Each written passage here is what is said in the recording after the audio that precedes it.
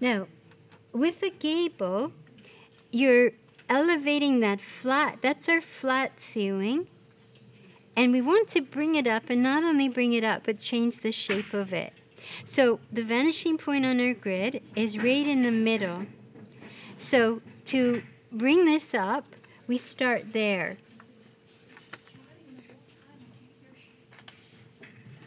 Okay, so let's let's bring this up.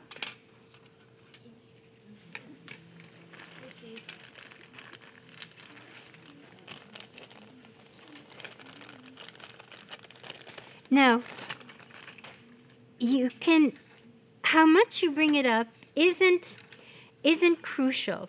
But if you want to actually measure it, you can. So if we bring it up at the front first, this line and this line will be able to be measured the very same way. For example, I can just take another scrap of paper and if I want to go up, say a foot and a half, this line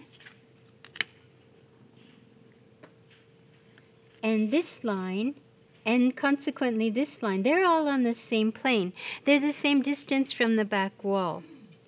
So what I'm going to do is say, I'm going to go up, I hope I have room, I'm going to go up one and a half feet.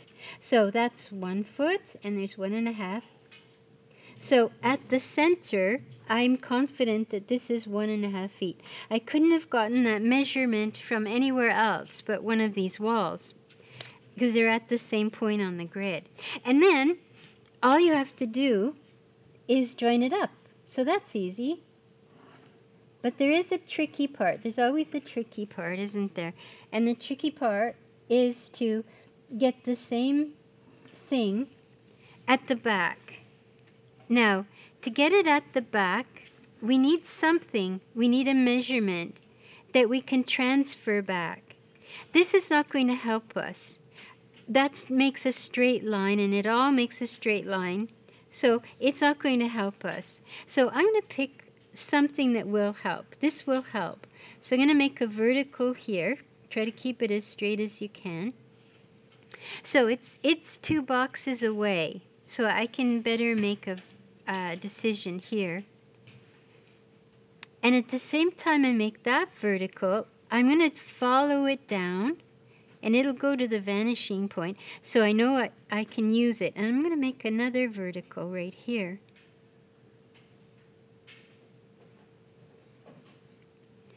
And all I need to do now is just bring that point, because this is all about height.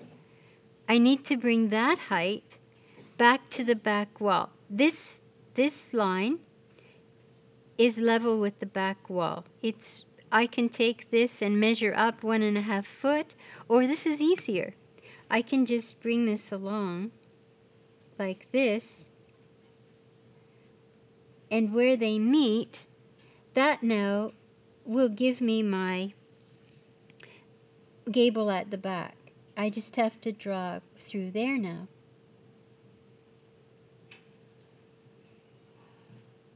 So now this on that green line gives me the gable at the back.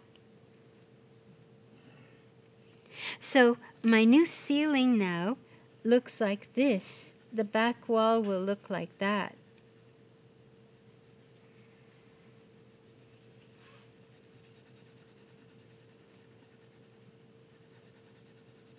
And this front part, it now all of these lines should go up and it will go like this.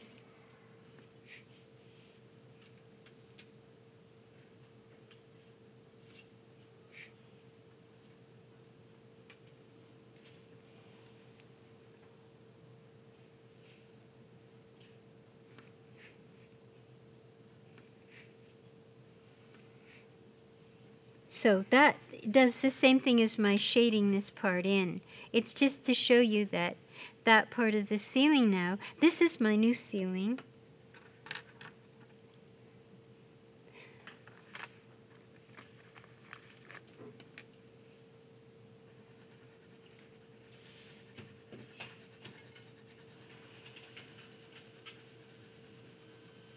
And it's not just for ceilings. If you ever want to draw even a piece of furniture sometimes, something extending out like that, these methods uh, work the very same way.